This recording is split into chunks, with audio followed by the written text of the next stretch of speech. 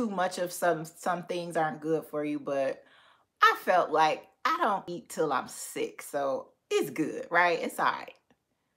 I didn't realize that food could either heal you or kill you.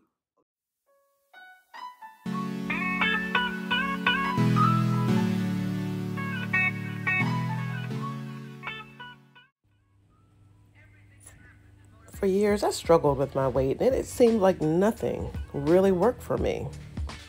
Not until 2021, when I discovered a healthy eating program hosted by Kiesha Easley, a certified health coach, who helped me to develop the tools I needed to succeed in this weight loss journey.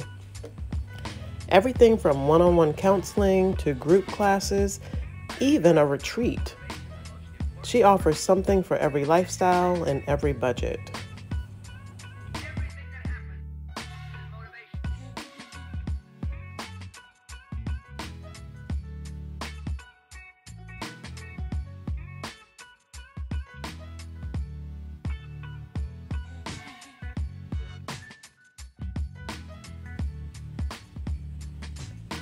Losing weight while also eating the delicious foods and the desserts that we loved was a game changer for us.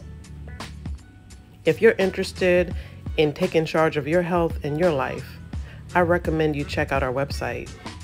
You'll be glad you did.